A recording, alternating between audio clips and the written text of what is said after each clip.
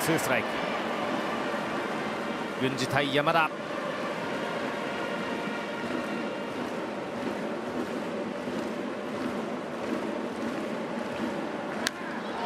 センター方向。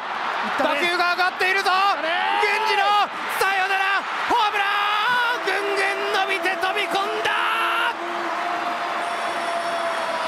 一振りで決めた郡司第9号。さよならホームラン。7対6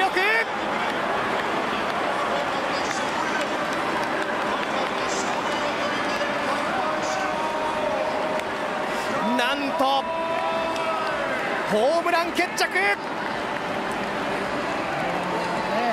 インサイドに飛び込むムーキ